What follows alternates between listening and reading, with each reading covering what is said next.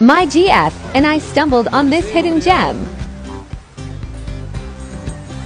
It's called Coney Island. You practically have the beach to yourself.